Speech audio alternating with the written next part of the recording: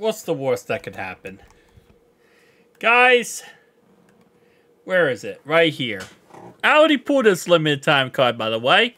If you not see my video, go check it out. But I pulled him out of the Boomer Bust 79 plus overall pack.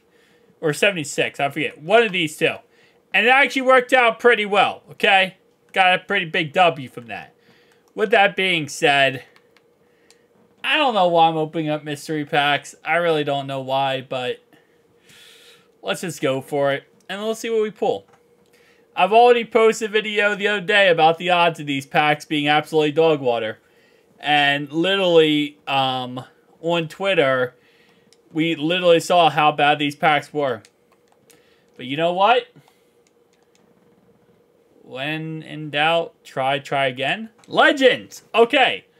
It's like the second time I pull Legends packs and so freaking long. Don't give me 79, bro. Why? Why? Why do they have to be so bad? My question is, why do they have to be so bad, though? I don't feel like they have to be that bad. They could at least be a little mid. You know, like an 80 overall card. Come on, crazy animation. I was just hoping for that, like, last second crazy stacked up card animation when you know you actually pulled something good. Alright, Rush Pack. It's kind of iffy. I think they're going to update these packs sometime very, very soon. So I wouldn't be surprised if we get something new with these packs. So they actually might be a little bit better in the foreseeable future. Um, just because I feel like they're going to add some more packs to it. And they're going to increase the price. Which is going to make the packs still kind of iffyly awful. But at least they're going to add something to it.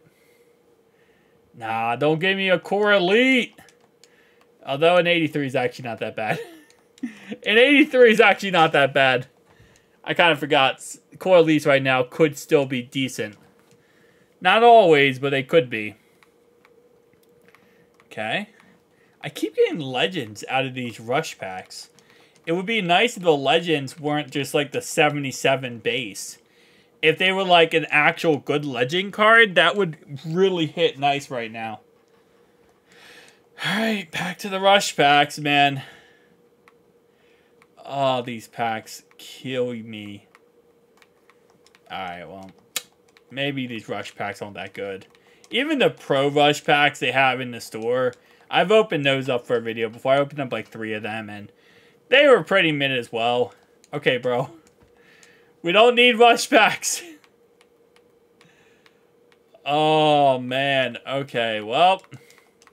Apparently, EA Sports just wants to show off how good rush packs are. Uh, they're pretty trash. But, okay. You know what? I kind of miss rush packs. I feel like at that moment in time, I done miss rush packs. The second they gave me a 70 plus overall pack. I also don't know why I opened this up so I can get my free 80 overall. Anyway, guys, tell me down below your thoughts opinions. I don't even know why I opened up mystery packs. I really don't even know why. I was like, you know what? Let's just try them. Let's just see. I'm done with mystery packs. I say that and I'll open them up. I just know myself too well. Peace out, guys.